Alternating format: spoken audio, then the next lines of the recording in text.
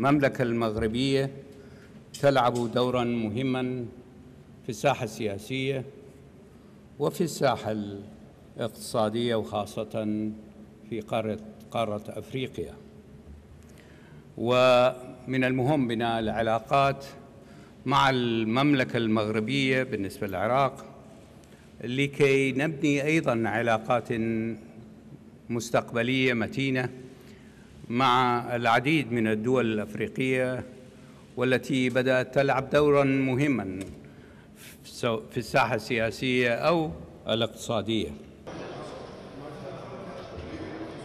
هي زيارة تاريخية من منطلق. كما قلتم أنها أول زيارة لوزير خارجية منذ ربع قرن تقريبا إلى بغداد. وأول زيارة لمسؤول حكومي منذ على الأقل عقدين من الزمن.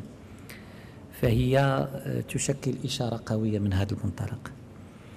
هي تاريخية وأكدتم ذلك لأنها ستتميز بافتتاح سفارة المملكة المغربية التي تم إغلاقها منذ 18 سنة وسيتم إعادة تشغيلها آه، اليوم.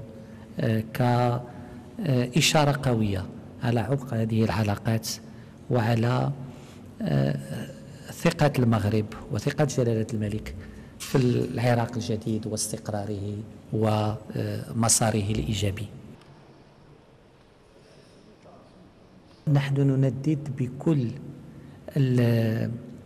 الأعمال الاستفزازية وبكل الاعتداءات التي تمس الحرم القدسي. وجلالة الملك آه، محمد السادس من منطلق رئاسة لجنة القدس ما فتئ يؤكد على أن التهدئة ضرورية. إذا أردنا أن نحافظ على ما تبقى من بصيص الأمل في عملية السلمية. والوضع الحالي يعني لا يبشر بالخير والوضع الحالي آه، من شأنه أن يقوض كل فرص آه، السلام في المنطقة.